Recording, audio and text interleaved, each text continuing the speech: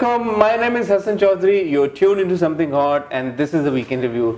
सबसे पहले तो आपसे बहुत बहुत माजरत हमारा वीकेंड रिव्यू का यूजुअल स्लॉट फ्राइडे का है 8 PM unfortunately due to some technical issues हम फ्राइडे को अपनी वीडियो रिलीज़ नहीं कर पाए सेकेंडली आप लोगों का बहुत बहुत बहुत शुक्रिया we are finally able to cross 100,000 subscribers big milestone Amna से इस बारे में मुबारकबाद लेते भी हैं और देते भी हैं। अस्सलाम वालेकुम हसन आपको कहा था ना कि आप सदका वगैरह दे दें हंड्रेड थाउज़ेंड सब्सक्राइबर्स का। मैंने दे दिया है दे दिया टेक्निकल इश्यूज़ आमना हो जाते हैं। Absolutely. इस वजह से हम अपने यूजुअल स्लॉट पे कर नहीं सके। बट एक तरह से अच्छा हो गया ना अब हमारे पास नए एपिसोड्स आ गए मेरे पास तुम हो जी। और इश्क जह नसीब दोनों के। जी। तो लिस्ट में बता दूँ सबसे पहले अना हम डिस्कस करेंगे देन वी हैव खास सुर्ख चांदनी इश्क जह नसीब एंड मेरे पास तुम हो। जी। अना से शुरू करते हैं। जी। सेकंड लास्ट एपिसोड आपने देखा। जी। उसमें बहुत सारी चीज़ें हुई। सवाल ये उठता है कि अरीश सरवाइव करेगा या नहीं? जो उसको गोली लगी है। मेरे ख्याल है कि अरीश डेफिनेटली सर्वाइव करेगा क्योंकि इतना बड़ा प्लॉट ट्विस्ट कोई भी ड्रामा नहीं करता कि जनाब हीरो को ही मार दें। मगर ये कि काफ़ी सारी डेवलपमेंट्स हैं मगर जिस बेतुके अंदाज से ड्रामा चल रहा है पिछले दस एपिसोड से उसी बेतुके अंदाज से वो ख़त्म भी हो जाएगा। सडनली जो निशवा हैं वो रियलाइज़ करती हैं कि उनको वली वारिस होना चाहिए जी। शेरगढ़ का। तो वो जनाब एक्शन में आ जाती हैं एंड आई थिंक लग ये रहा है कि उन्होंने कंस्पायर किया है किसी को हायर किया है टू अटैक देयर व्हीकल और उनका मकसद ये है कि जो उनकी भाभी हैं आनिया हुज प्रेग्नेंट किसी तरह उनको गोली लगे या कुछ हो और उनका मिसकैरेज हो जाए अच्छा सॉरी जी। पहले तो जब इनको कोई प्लॉट ट्विस्ट करना होता है तो प्रेग्नेंट कर देते हैं जी। दूसरा प्लॉट ट्विस्ट करवाना हो तो miscarriage हो जाता है। जी, जी। सुर्ख चांदनी में अभी तक लेकिन हुआ नहीं है हुआ नहीं जी अभी अभी अभी हुआ। अभी अच्छा, हुआ नहीं है अभी हुआ नहीं है लेकिन दूसरा ये है कि जो दानीन है वो चाह रही हैं that she wants to leave the country and she wants Areesh and Aniya to be living happily ever after with their child तो ये एक उनकी ये सिचुएशन है। इज़्ज़ा और अल्तमश जो हैं वो इज़्ज़ा जो है वो अब रिग्रेट कर रही हैं कि उन्होंने उन पर ट्रस्ट नहीं किया। तो अल्तमश ने बड़ी अच्छी बात की कि कोई कहता है कि मैं कातिल हूँ आप मान लेती हैं। कोई कहता है कि मेरे पास मैं बेगुनाह हूँ आप मान लेती हैं। कातिल कौन कहता है उन्होंने किया था मैनेजर का कत्ल। उन्होंने किया होता है? जी आप 28 29 एपिसोड के बाद इतना बड़ा आप ये रिवील कर रिवील नहीं ये रिवील बीच में होता है कहीं क्योंकि ये वो मैनेजर है जो कि उनकी बीवी बीवी कहती है उनकी बहन को सेक्सुअली हरास कर रहे होते हैं। अच्छा जिनकी जी तो जब इनको पता चलता है तो ये उनका कत्ल कर देते हैं। अच्छा जस्टिफाइड अनजस्टिफाइड वो अलग चीज़ है बट ये नहीं जस्टिफाइड ये बस उसके वो बाद पाव- जेल वेल गए नहीं गए नहीं ऐसे लोग जेल नहीं जाते हसन ये तो आपको पता होना चाहिए। जी एग्जैक्टली तो ये डिफरेंट प्लॉट चल रहे हैं और सब कुछ हो रहा है रैप अप होने वाला है। And as always with every Pakistani play आखिरी एपिसोड में ही वो हर एक की किस्मत रैप अप होगी। तो अब देखते हैं आज रात को आखिरी एपिसोड है उसमें क्या होता है। But it was really all over the place unfortunately खत्म हो रहा फाइनली आपके पीपल एंजॉयड इट जिस जिस वजह से उनको सब मेरे ख्याल है इज़ा और अल्तमश की केमिस्ट्री थी basically which they really enjoyed and great. hats off to you and the people I uh, tried watching the last episode I couldn't go beyond 10 15 minutes वो भी skip कर करके anyway खास से related सवाल ये है कि जो सबा का hai है क्या वो आपको वाकई में बहुत annoying लगता है या वो है annoying असल में सबा का कैरेक्टर ये बड़ी ट्रेजेडी है कि वो एक अनोइंग कैरेक्टर बन चुका है because you want to empathize with her एक यंग लड़की है ब्रिलियंट ब्राइट अपनी बोर्ड टॉपर पढ़ी लिखी वो ऐसी सिचुएशन में आ गई है जहाँ पे आइडियल मैरिज उसकी होनी चाहिए बट वो अंदर अंदर से घुट रही है because her husband has emotional abusive traits emotionally abusive traits right? Parents also don't believe her you told me. That is the worst thing that the parents don't believe her ऐसे ऐसे parents को exemplary बनाना चाहिए कि ये please मत करें parents कि आपने जिस बच्ची को पाल पोस के बड़ा किया है उसकी बात आप नहीं मान रहे और क- जुम्मा जुम्मा आठ दिन का आपका दामाद है उसको आप कह रहे हैं कि वो हमारी सब कुछ है और तुम सब बात तुम बकवास कर रही हो और उसको थप्पड़ भी पड़ जाता है everything you not even talking to the friend जिसके यहाँ वो रात रही थी और you just not believing her I mean this is so bizarre ये कॉन्सेप्ट ही मेरे लिए कितना बिजार है। लेकिन सबा का character again it's unfortunate that she is become irritating because होना ये चाहिए था that you would want to empathize with her and like her and want justice for her मगर वो जो उसकी है ना constant state of चीखना constant state of like aggression वो इट्स टू मच बट सवाल ये पैदा होता है कि एक इंसान औरत है मियाँ अब्यूज कर रहे हैं इमोशनली माँ बाप बात सुन ही नहीं रहे मान ही नहीं रहे उसी पे फिंगर पॉइंटिंग हो रही है तो इतनी सारी मुश्किलात में चैलेंजेस में इतनी फ्रस्ट्रेटेड खातून एक आ, चीखें चलाएगी नहीं तो क्या करेगी हमारे यहाँ तो वैसे ही खवातीन आप कंपेयर। करें आप कंपेयर करें इनको यमुना जैदी एज हाजरा इन इनकार में हम्म। उनके साथ जो जो गुजरा होता है और जिस जिस चीज़ से वो गुजर रही होती हैं is much worse than what somebody like Sabah is going through. मगर वो एक ठहराव उनकी पर्सनालिटी में होता है कि you know? आप अगर अभी अपने बाप से बात कर रहे हैं तो ज़रा धीमे हो जाएँ दोस्त से कर रहे हैं धीमे हो जाएँ। ये नहीं कि आप कॉन्स्टेंटली आप हाँप रहे उसमें हैं भी माँ और भाई काफ़ी फिंगर पॉइंटिंग करते थे। करते थे बिल्कुल। मगर ऐसा नहीं है कि वो कॉन्स्टेंटली कॉन्स्टेंटली। चीख चीख रही है बिल्कुल। तो ये कॉन्स्टेंट चीखना जो है ना वो वी हैव ऑलरेडी एस्टैब्लिश कि हमारे टेलीविज़न पे ज़रा सी फ्रीक्वेंसी लाउड ही होती है। We are a loud race so sometimes you need to sort of you know थोड़ा सा ठहरा के ज़्यादा इम्पैक्ट होता है। कई सीन्स ऐसे होते हैं जिसमें अगर आपको रोने की आवाज़ ना आए और सिर्फ़ खामोशी नज़र आए तो उसका ज़्यादा इम्पैक्ट होता है। तो I just feel that Sabah, as uh, depressed and as somebody who's completely now unhinged, is is too in in in, in our faces. ठीक है। सुर्ख चांदनी के दो बड़े पावर पैक्ड एपिसोड थे। हम्म। मुख्तार को स्टैब किया गया और फिर उसको एक कचरे के ढेर पे छोड़ दिया गया। आप मुझे ये बताएँ मुख्तार बच कैसे गया? वो सवा छह फुट कद है उनका जी, अच्छा, अच्छा, अच्छा, सही। तो एक छोटी सी छुरी लगने से वो भी पीछे कोई कंधे पे तो उन्होंने थोड़ी मरना था। राइट राइट और जो इतना ब्राइट और ब्रिलियंट ब्रिलियंट और इवल जीनियस जो जवाद है उसने वहाँ से घसीट के उसको कचरे के डंप तक लेके गया। वो ये नहीं उससे हुआ कि नब्स चेक कर लिया डिस्ट्रैक्ट हो गया था ना शुमाइला आ गई थी। शुमाइला के बालों से डिस्ट्रैक्ट हुआ होगा। क्यों क्यों क्यों? हसन मैं कहती हूँ कि क्या बाल है शुमाइला के? कि उनके ऊपर उन पे देखें अगर आप वो सीन याद करें जब जवाद उसको खंजर मारता है हम्म। और फिर वो पूरा हाथों पे खून होता है और उसके बालों को यूँ कर रहा होता है। लगा नहीं खून कहीं पे और जब वो अंदर आई तो उसके बाजू पे ऑलरेडी खून था मैंने तो नोटिस फिर हाथ लगाने वाले का कमाल है कि उसने खून नहीं लगने दिया उसके बालों पे भी और उसके मुँह पे भी। आप देखें ना उसके बाल खराब होते हैं। ना उसके बाल बनते हैं वो उसी तरह अगले दिन भी वो जब सुबह उठती है तो वैसे ही ब्लो ड्राई होते हैं। और जब चंडे बड़ी लाते बड़ी तब भी वो बाल तब भी वो बाल टस से मस ना होए। तो मैं कहती हूँ पलके नाखून बाल ये हमारे वैसे बहुत और वो अस्पताल का भी आप मुझे बता रही थी आप बड़ा इम्प्रेस हुई डॉक्टर साहब से जो बड़े खुश खुश मिजाज वो कौन सा अस्पताल है जहाँ मेडिकल लीगल पर्चा कटे बगैर डॉक्टर आईसीयू में ले जाए सर्जरी करने पेशेंट को। साफ़ सुथरा अच्छा अस्पताल लग रहा था। बड़ा अच्छा अस्पताल था और इतने खुश असलूब थे वो डॉक्टर। अस्पताल और कोई पेशेंट वेशेंट नज़र भी नहीं आया। इतने कोई हैप्पी डॉक्टर थे वो कि मैं चाहूँगी कि मुझे पता चले कि एक तो शुमाइला की हेयर ड्रेसर कौन है और एक इनके मुख्तार साहब का अस्पताल कौन सा है कि हम भी वहाँ जाएँ। जी। बट ये कि मुख्तार साहब बच गए। जी मुख्तार बच गए। हाईलाइट मेरे हिसाब से असद की एक्टिंग थी। बड़ी उम्दा उन्होंने एक्टिंग का मुजाहरा किया जो माँ पे भी उन्होंने तशद्दुद शुरू कर दिया ज़बरदस्त सीन था। बाँध दिया उनको माँ को अपनी इनको चपेड़े कराई उन्होंने। इनका तो फिर भी असद ने थोड़ा लिहाज नहीं किया मंशा का लेकिन मैंने देखा गुले राना जी के साथ थोड़ा सा वो सॉफ्टली उनको पुल कर रहे थे। है तो उनकी वालदा ही है ना आखिर। हाँ। आई थिंक वैसे भी। तो अब ये आपको क्या लगता है अगले एपिसोड का जो हमने प्रोमो देखा तो शायद वो गुले राना जी का जो कैरेक्टर है वो तो अब सरवाइव नहीं करेगा। इस वजह से शायद इनके कुछ चेंज आ जाए। मैंने व्यूअर्स को अपने बता दूँ असद का एक इंटरव्यू हमने कर लिया है जो कि जल्द ऑन एयर आएगा। तो मैंने उससे पूछा उनसे असद से कि मुझे ये बताएँ कि एंड में ऐसा तो नहीं होगा कि आपका कैरेक्टर जेल में चला जाए और टोपी पहन के और कुरान पाक पढ़े और फिर उसको माफ़ माफ़ी मांग ले और सब कुछ ठीक ठाक हो जाए। तो उन्होंने कहा ये जवाब है। ये मर जाएगा लेकिन ये माफ़ी नहीं मांगेगा कभी किसी से। अच्छा। हाँ। तो इसका अंजाम मेरे ख्याल में जो रिसेंट हमने इविल कैरेक्टर्स देखे हैं उससे बुरा ही होगा।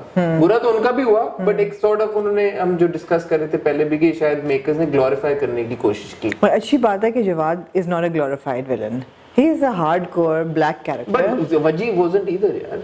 वजी को, को ग्लोरीफाई करने की ज़रूरत थी तो नहीं एंड में बट बिल्कुल नहीं थी बिल्कुल नहीं थी।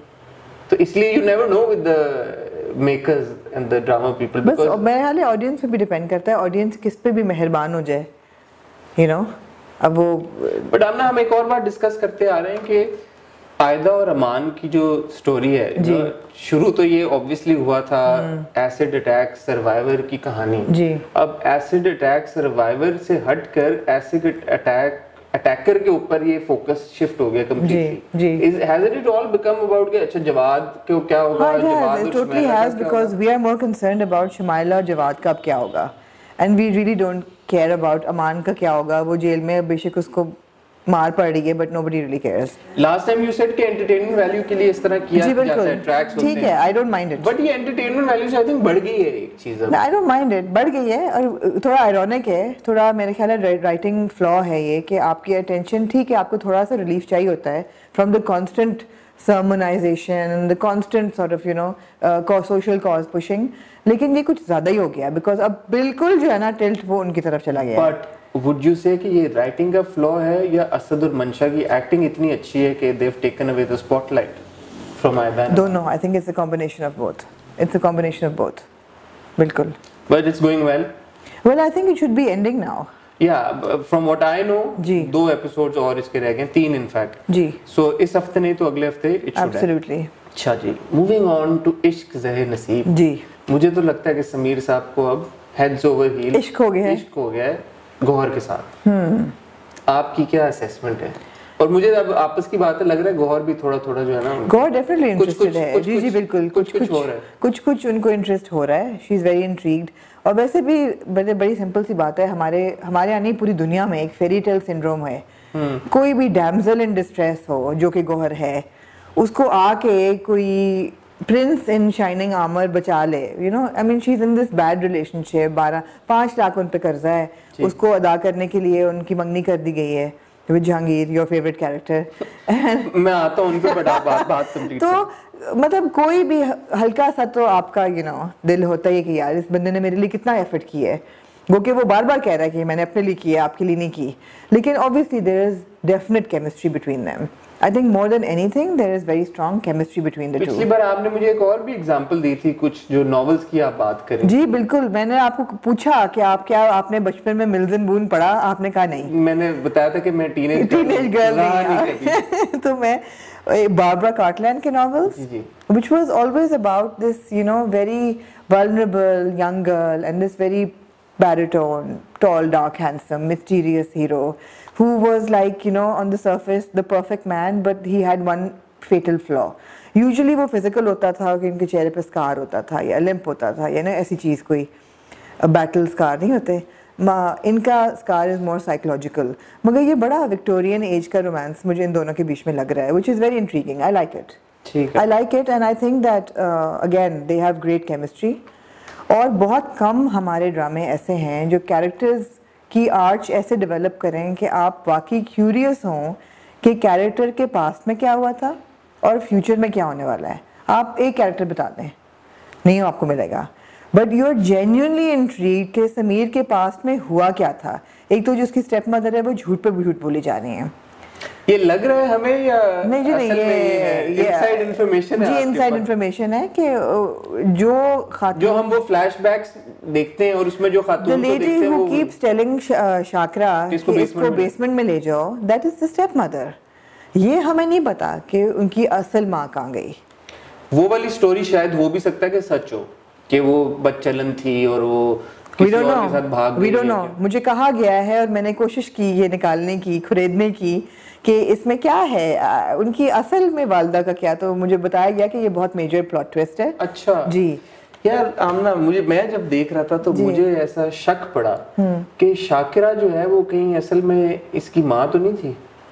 ये तो बहुत लंबा एक ट्विस्ट हो जाएगा बट आपका इस बारे में क्या है? May I don't know the kind of fondness that she had for this child नहीं बट जब वो डांट रही होती है उसको तो she is scolding her like one would with hired help not the mother और वो जब ढूंढ रहा होता है माँ बाप को so the mother doesn't have to be like like you know पता नहीं हाँ कुछ भी हो सकता है मेजर प्लॉट बिल्कुल मदर ना बिल्कुल। Be an affair also let's see let's see but it's intriguing I have to say that ये एक ऐसा ड्रामा है।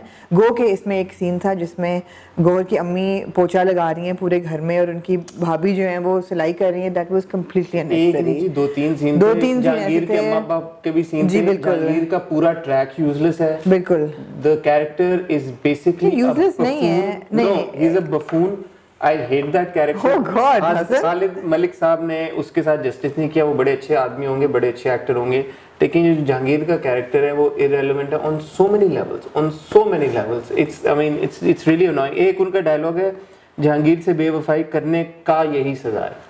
करने की सजा होती है होता नहीं है। अच्छा, मतलब जब आप तो बिल्कुल ही बाल- जब बाल की खाल उतार रहे हैं। तो वही मैं कह रहा हूँ ना जब आप इतने गौर से देखना शुरू कर दें और फ्लॉज नोटिस करने शुरू कर दें तो मेरे हिसाब से दिस समथिंग रॉन्ग मुझे खालिद मलिक साहब को जब मैं देखता हूँ परफॉर्म करते हुए तो मुझे अमिताभ बच्चन 2.0 थोड़े थोड़े वो लगते हैं शक्ल से भी बालों की वजह से भी और आवाज़ अच्छा आप जहांगीर साहब को तो मिट्टी पाए हैं अगर आप फ्लॉज की बात कर रहे हैं।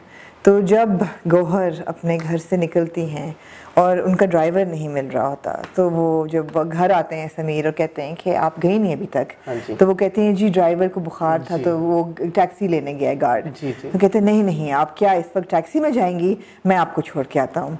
और मगर जाते में ड्राइवर के साथ ही इसलिए पिछली सीट में वो बैठ जाते हैं। हाँ जी। ये सवाल तो, आपको जायद से पूछना जी तो मतलब है कि अगर वो ड्राइवर अवेलेबल था और सेहत याब था तो वो खुद क्यों नहीं गया छोड़ने ट्रस्ट नहीं करते थे ना अपने वाले ड्राइवर को। कुछ ऐसा ही है वो कि चक्कर ट्रस्ट था। इश्यू से है। Anyway it's a really good drama it's a really good story again it intrigues you कि अगले एपिसोड में क्या होगा। मैं बड़ी खुश हूँ इश्क जहे नसीब से। ठीक है। अब आते हैं मेरे पास तुम हो। जी। मुझे जरा से ये पता लगा कि आपको ये आखिरी एपिसोड इतना कोई खास इंप्रेसिव नहीं लगा। जी मुझे नहीं लगा। मुझे नहीं लगा और मैं आपको और भी बताऊँ कि ये चार एपिसोड्स हो चुकी हैं। जी। और गो के स्टोरी अच्छी है मगर ऐसी कोई नहीं है कि जी एक्स्ट्रॉडनरी कि हम कहेंगे जी हमने कभी ये पहले देखा नहीं है हम्म। टेलीविज़न पे या फ़िल्म में। हम ये स्टोरी देख चुके हैं कि एक ओवर एम्बिशियस खातून है greedy and husband can't provide what she wants and then she drives him to corruption and drives him to insecurities ये हम देख चुके हैं। The only reason we are really enjoying it is Humayun Saeed की acting और आयशा खान की acting even Adnan की acting ना इवन अदनान की एक्टिंग तीनों की एक्टिंग तो कैरेक्टर्स जो है उनकी अदायगी वो भी बहुत प्यारा है। तो उनकी कैरेक्टर्स की जो एग्जीक्यूशन है वो बहुत अच्छी हो रही है। मगर ये एपिसोड थोड़ा मुझे स्लो लगा। इट वाज जस्ट अ री अब बार बार दिखा रहे हैं। अच्छा अब आप रिश्वत आप ले चुके हैं एक दफ़ा। तो एक आप फिर दस लाख लेते हुए आप मतलब आप जी ऐसा ऐसा दिखा रहे हैं कि जी। जब उन्होंने पहली बार रिश्वत ली थी तो उन्होंने ये एस्टैब्लिश कर लिया था कि मैंने अब्बा की कब्र पे लात मार मार दी। है। तो अब दोबारा उनको क्यों ख्याल आ रहा है कि मैं नहीं और उन्होंने अकाउंट अपनी बीवी के नाम पे खुलवा दिया है जिसमें रिश्वत का पैसा जा रहा है। तो उन्होंने डिटरमिन कर लिया था अब ये होना है। अब दस लाख उनको मिल रहे हैं तो मतलब क्या उनको मतलब क्या मसला है यू नो प्लस मुझे नहीं समझ आई उनकी शवार के साथ दोस्ती मुझे तो समझ नहीं आई। वो बड़ी सडन थी। पहले अच्छा पहले ये मुझे ये भी नहीं ये क्या हुआ? जी, बिल्कुल। उन्होंने पहले कहा जी कि मैं जा रहा हूँ आप तुम चली जाओ। हाँ। जो इतना पोजेसिव इंसान होता है वो कभी अपनी बीवी को अकेला ना नहीं वो कहता है ना कि तुम अब इतनी मज़बूत हो गई हो कि तुम ना कर सको ऐसी बात नहीं ऐसी है। बात नहीं होती। बिल्कुल अगर नहीं। आप इतने पोजेसिव हैं कि आपको उस शख्स को देख के पिछले एपिसोड में लगा कि कोई भूत देख लिया मैंने बिल्कुल। तो ऐसा नहीं हो सकता कि आप उसी बीवी को उसी शख्स के साथ अकेला जाने आप कहेंगे जी जाओ। सवाल ही नहीं पैदा होता। एग्जैक्टली अच्छा फिर वो पहुँच भी गए वहाँ पे? साथ क्यों नहीं गए? पहुँच गए तो बैठ क्यों गए वहाँ पे? मिले क्यों नहीं? ऐसा तो नहीं था ना कि आपकी बीवी आपको नोटिस ना करती पूरी Exactly. शादी में आप घर अलग अलग चले जाते। या आप नहीं फिर मेरे थोड़ा सा स्पाइंग कर रहे थे वो बीवी पे। देख रहे थे कि वो कर क्या रही है। थोड़ा इनसिक्योर तो हो गए ना वो। No but he couldn't have imagined कि मुझे शायद वो पहचाने ढूँढने ना या मिले इट ना। वाज अ बिट ऑकवर्ड मैंने कहा ना मतलब कि ये हाँ। एक फ़ौरन ही शॉट आ गया जहाँ पे वो, उनकी दोस्ती हो गई। ठाठे मारते हुए वो जो हंस रहे होते हैं फिर आई मीन ऐसे कैसे होता है? वो भी स्टैब्लिश करना चाहिए था हाँ, मेरे हिसाब से तो ये और फिर वो खाने पे भी बुला लेते हैं। अच्छा कुछ लोगों ने हमने एक और चीज़ पॉइंट आउट की कि उन उन्होंने हार ले लिया डेढ़ दो लाख रुपए का सारा कुछ हम्म। पैसे इकट्ठे कर लिए। तो बच्चे को अभी तक स्कूल में नहीं डाल रहे वो लोग? शुरू की फ़ीस तो इतनी ज़्यादा नहीं होगी ना मतलब ऐसा तो नहीं उन्होंने दस लाख इकट्ठा जमा कर लेना सारी उम्र का फिर बच्चे को स्कूल में जी मेरे ख्याल है बच्चा उनकी बहुत ही प्रायोरिटी पे लो है। पहले हार। पहले हार फिर कपड़े। कपड़े। उसके बाद खाना बर्गर बर्गर। बर्गर वर्गर खाना नहीं हाँ खाना ये कपड़े कपड़े यही उनकी प्रायोरिटी गाड़ी। गाड़ी। गाड़ी ये उनकी प्रायोरिटीज हैं। जी बच्चा is quite low on their a lot of things are sad actually yeah but a question now everybody's asking will she have an affair with Shewar अच्छा जी तो जैसे आपको कुछ इंसाइट है तो मुझे ये इंसाइट पता लगी है कि जी। जो फिफ्थ एपिसोड है जी। It's got to be there some major plot twist that's going to be revealed in the fifth episode and then apparently sixth episode till the 12th episode the story is going to take like a massive turn और बारहवें episode में कुछ बहुत ही explosive चीज़ होने वाली है। तो अब ये पता नहीं एमी मेरा एक एंटिसिपेशन बिल्ड किया गया या। वाकई ये होगा या मैं टाइम के साथ I would like to be surprised कि कोई ऐसी चीज़ हो जो हमने कभी कभी देखी ना हो। जी। और हम वाकई impression ये दिया गया कि ये ऐसी चीज़ कुछ होगी। तो अब मुझे पता नहीं है। अगेन पहले। पाँचवें एपिसोड का नोट कर लीजिए आप है। भी मुझे भी बताइएगा कि हुआ ऐसा या नहीं और बारहवां एपिसोड जी ठीक है। तो ये हम देखते हैं पांचवा एपिसोड भी दूर नहीं है अगले हफ़्ते है। जी अगले तो हम देख लेंगे इंशाल्लाह। जी। ठीक है। सो ये पाँच ड्रामे आमना थोड़ा सा हमने अपने व्यूवर्स को ये भी एक चीज़ क्लियर करनी थी कि हमने अ, सोचा था कि हम अपने वीकेंड रिव्यू को डिवाइड कर दें और एक वीडियो हम मंडे को रन कर लें और एक फ्राइडे को कर लें। वीकेंड वाले ड्रामे और वीक वाले ड्रामे जी। अभी जब ड्रामे आने शुरू होंगे अना खत्म होगा उसको कोई ड्रामा रिप्लेस करेगा अहद वफा शुरू होने वाला है अलिफ भी इसी महीने शुरू होने वाला हम्म। है। तो जब ये एक बार ड्रामों का नंबर बढ़ जाएगा। तो फिर हम ये स्प्लिट कर देंगे। जी दासी है। दासी भी फिर इमरान अशरफ का एक नया ड्रामा आया है। अच्छा बताए बताएँ ना प्रोमोस के बारे में थोड़ी सी क्विकली हम बात कर ले हमारे पास है एक दो मिनट तो अगर आपकी इजाज़त हो जी जी ज़रूर। तो क्या आप एक तो अहद वफा का प्रोमो आया? जी। वो कैसा लगा? और फिर इमरान का drama which I think is yet untitled अभी तक उन्होंने टाइटल नहीं reveal ji so Ahad Wafa is fun I mean it's young it's like you know थोड़ा सा अल्फ़ा ब्रावो चार्ली की झलक उसमें आ रही है।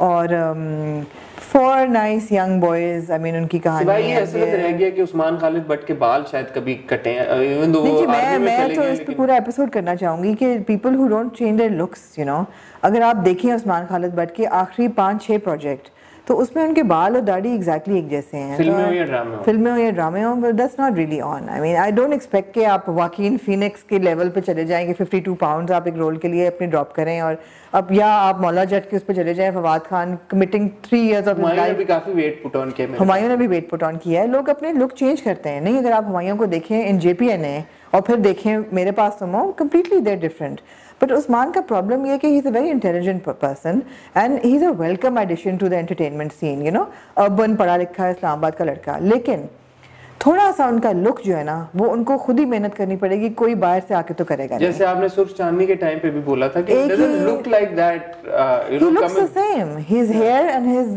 makeup his his is the same so then how can we relate to a character you know that's changing No, it, I it, agree. it's like Usman Khalid but everywhere it's not the character moving to Imran ji drama and the promo Neelam के साथ उनका हमने reveal हुआ जी। पता चला कोई शादी का माहौल सीन जी। नजर आ रहा है कैसा लगा आपको जी मैंने कोई ओपिनियन नहीं फॉर्म किया हसन उसके बारे में बिकॉज़ मुझे it look like a very typical शादी का scene from anywhere run of the mill run of the mill जहाँ लड़की कह रही है कि मैं कोशिश करूँगी and I will commit to myself and of course it it it's intriguing कि how Imran Ashraf will set himself in a romantic role because अभी तक वो बहुत हार्ड कोर कैरेक्टर रोल्स करते रहे हैं.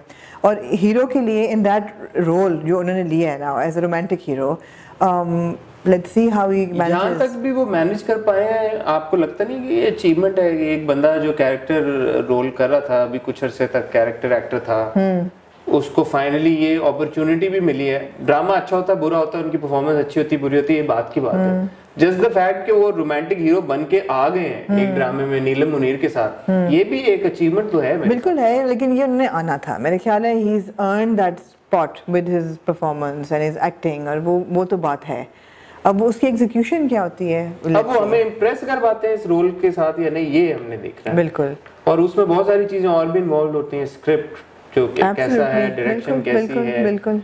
नीलम के साथ उनकी मगर मेरे ख्याल है कि इमरान के लेवल का जो एक्टर है उसके उस परफॉर्मेंस उसके अपने हाथ में ही होती है। बिकॉज़ वी नो कि ड्रामे हमारे यहाँ कैसे बनते हैं। ऐसा नहीं है कि पहले रीडिंग्स होती हैं या कैरेक्टर डेवलपमेंट एक दिन आप सेट पे आते हैं स्क्रिप्ट लेके और फटाफट आपकी फिल्मिंग शुरू हो जाती है। तो वी नो कि उनके अपने हाथ में उनका कैरेक्टर कि हम उसको कैसे क्रिएट करते हैं मोल्ड करते हैं और सो या इस बात पे हमने इजाज़त लेते हैं। Thank you very much as always for all your feedback हम आपके सारे कमेंट्स पढ़ते हैं। आप वीडियोस को ज़रूर शेयर भी करें कमेंट्स करते रहें लाइक करें। और अगर आपने सब्सक्राइब नहीं किया हुआ हमारा चैनल तो ज़रूर करें। बेल आइकन पे हिट करें क्योंकि आगे बहुत इंटरेस्टिंग और वीडियोस आने वाली हैं। और यहाँ मैं आपको रोक के कहूँगी कि एक्चुअली अगर आपको कोई भी ज़ाहिर अहमद के लिए सवाल पूछने हैं तो आप हमें भेजें बिकॉज़ होपफुली ज़ाहिर अहमद नहीं सज्जल भी आहद भी। We will hopefully be meeting them this week ठीक है। एंड यू नो कोई भी ड्रामे से भेजें जी भेजें। और अब तो आमना ने इतनी बड़ी अब ये अनाउंसमेंट कर दी है तो सब्सक्राइब करना तो बनता है अगर आप भी अभी तक नहीं किया तो। नहीं किया तो ज़रूर करें। Thank you for watching and will see you next week